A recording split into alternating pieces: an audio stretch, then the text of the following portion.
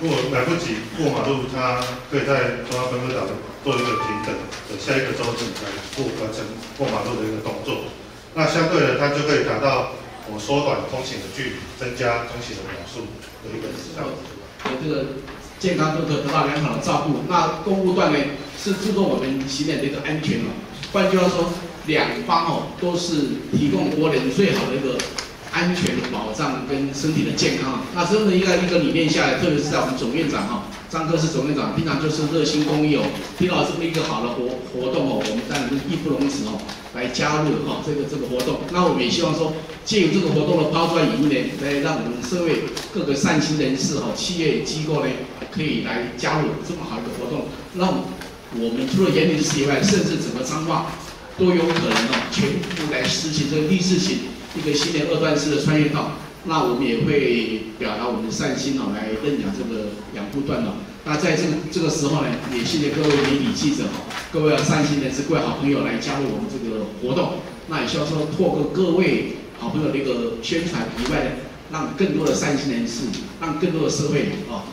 民众啊知道这个活动，啊大家来共同在呃整个一个不老专案的一个取缔啊，在一到三月份啊，总共是取缔了三千九百九十七件，那其中也包括车不让人这个部分。那我想也呃这个呼吁我们的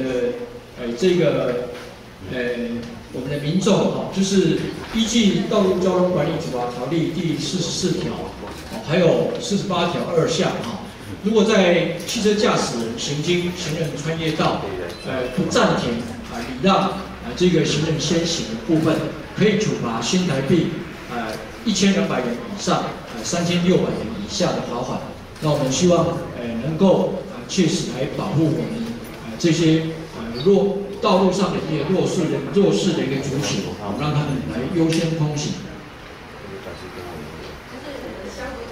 穿的这个是警察最新的制服。好，那有关于车不让人的部分，可以依据《道路交通管理处罚条例》第四十四条第二项以及四十八条第二项，在汽车驾驶人行经行人穿越线，呃，不未暂停，呃，礼让行人先行，可以处罚新台币一千两百元以上三千六百元以下的罚款。呃，那行人如果违规，呃，不走行人穿越线，呃，违规，呃，行走双黄线或者是分割岛的话，就是依据《道路交通管理处罚条例》第七十八条的规定，可以处罚新台币三百元以上六百元以下。就是呃，用两段式的方式来穿越我们的马路。那两段式穿越马路的部分，就是在中间马路的中间的分割岛上面，我们有做 Z 字形的开口。那民众就是要靠着立字形的方式哦，在这个呃，在中央分隔岛上面来做行走。那这个部分在中央分隔岛上哦，可以保护他们，可以保护他们，就是在穿越路口的时候的安全。那第四走有个一个好处就是，当他在这个分隔岛上面走的时候，他是其实是面对来车的方向哦，所以他可以看得到来车。那所以这个方式可以让这个民众就是在穿越的时候更加的安全。呃，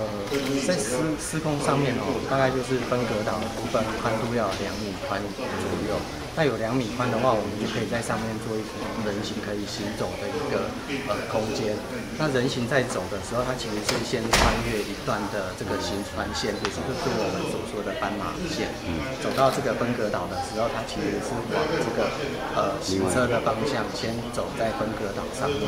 那过了这个，在这个在这个一字形的走走法之后，它才再又就是穿越另外一段的一个道路。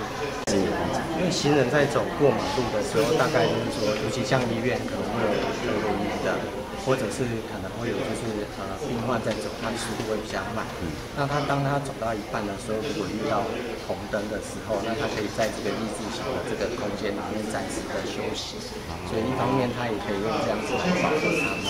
那另外就是说，这个行穿线的部分，它是退缩在我们的路口的后面。那以前我们的行人的斑马线都会画在这个分割道最前面。这时候当有车辆要右要右转或是左转的时候，就会碰。到行人，那我们现在就是等于是退缩到整个分隔岛的这个方面之后，那车辆已经是在转向，已经是到正向的时候，其实它就比较能够看得到行人，它看得到行人的时候，行人就比较能够就是说受到保护。嗯，在这个方面的配合的部分哦，大致上就是最主要的工程的部分，把斑马线就是往后退缩，那另外车辆的停止线也要往后退缩。那我们跟警察的方面就是说，因为警察这边他们经常有分析一些事故的资料，那当他分析到这些事故的资料的时候，他回馈给我，